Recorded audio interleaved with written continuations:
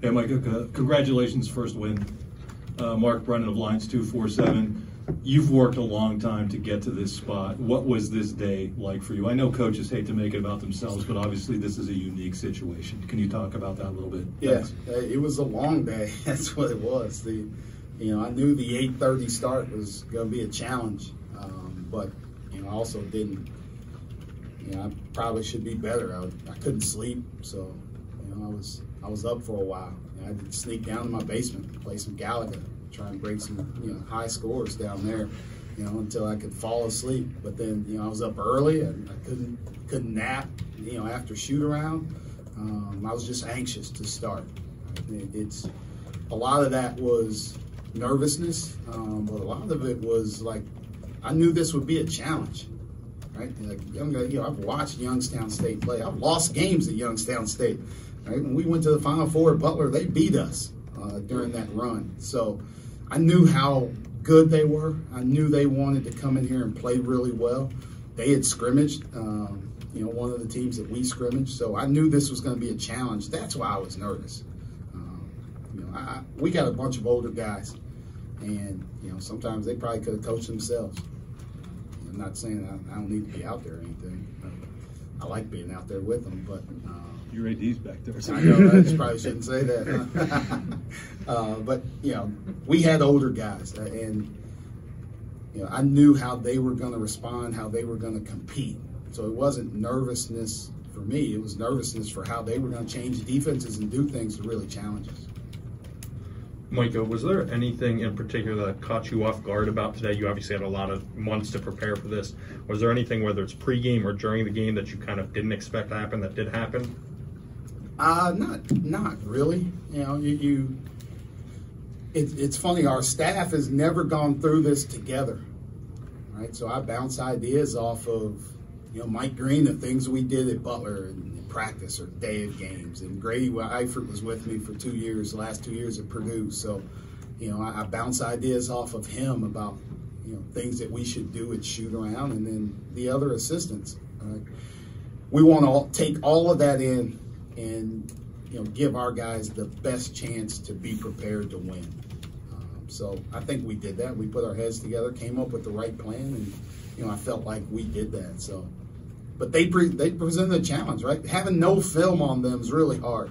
Right? You're going on word of mouth from a couple of people um, that they played, but what they did in the scrimmages was different than you know what they how they played tonight. Right? They played more zone in the scrimmages than they played tonight. They put guys in, in different spots and on different people, and we had to adjust to that um, as the game went on. That's you know having older guys, um, putting them in positions to make plays um, and really try and take advantage of what they were doing. But they made it hard. They challenged us. They're they're a good team. Hey, coach. Uh, what did you learn about your team tonight? You know, a little bit of what I knew. Those guys are just they're they're warriors, man. Like you could see it. Like we were wearing down. We were tired. I asked a lot of them on the defensive end. Right? I ask them to play extremely hard. And we get stop them. I ask them to run the floor, right? Sprint to the corner, run to the rim, do all this stuff. That takes a lot of effort. Uh, we try and manage that in practice so they're at 100%. But, you know, guys were cramping up. It happens early in the year. Um, guys play a lot of minutes. You look at it, Jalen Pickett played 36 minutes, and, um, you know, Sam played 33. that, that's a lot from those guys, but they battled, they fought, You know, I think we got a little loose defensively when we got tired. Like that's where I think we need to get better. Uh, but I thought we executed fairly well down the stretch to get the shots that we wanted to get. Hey, Mike, uh, how important is it to have uh, your offense running through Sam and Seth? Was that a point of emphasis coming into this game? You know, really for for all of our guys, we want them to be multi-dimensional. You know, guys have the ball in their hands in different positions, and whoever's night it is, like that's whose night it is. Like Jalen, you know, Jalen didn't play well, uh, particularly, but you know, we need him out there because he's another guy can handle the ball, can make passes, he can defend people. Uh, but you know, Seth and Sam got the hot hand, so we're going to go to those guys. And they made big shots for us down the stretch. Sam made great plays for us down the stretch. When you look, you know, eight assists and two turnovers is impressive.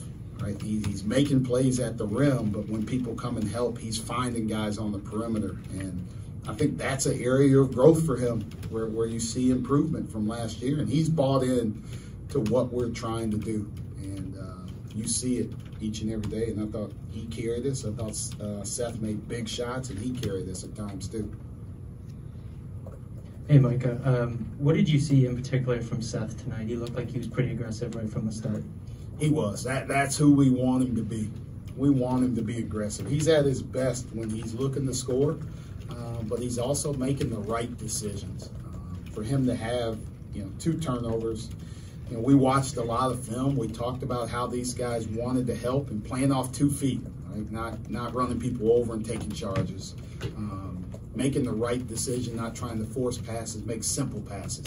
And I thought he did that when they cut off his drives or when they took away his three. So, you know, the more we can play through him, when he's making good decisions like that, it really helps us. It really helps us because he's aggressive now.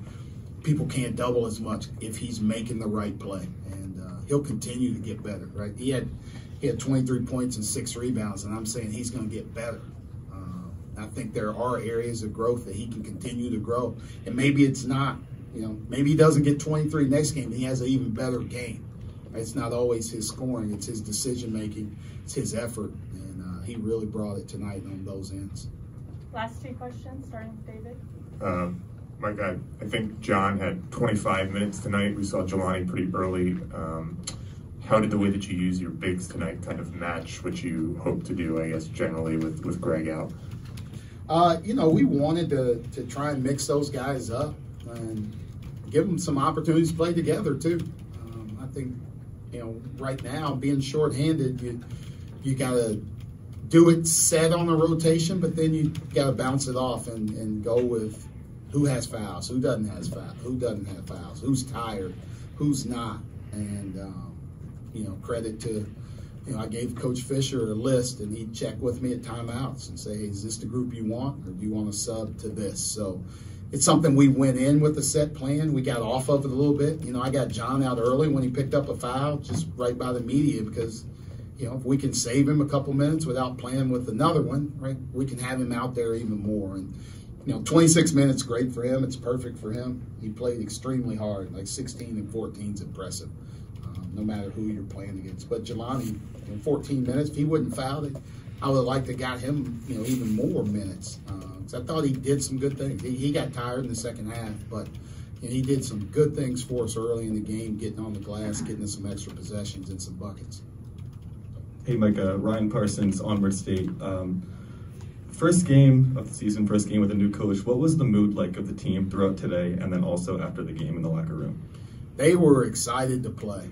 Um, you could sense a little bit of nervous energy. We were we were a little quiet at shoot around, um, which they're normally not a quiet group. They love to talk, and, and there's a lot of guys that love to talk, like Myles, Sam, like they're going to talk nonstop, and they were a little quiet, right? Uh, you could sense the kind of nervous energy, but they just wanted to do so well.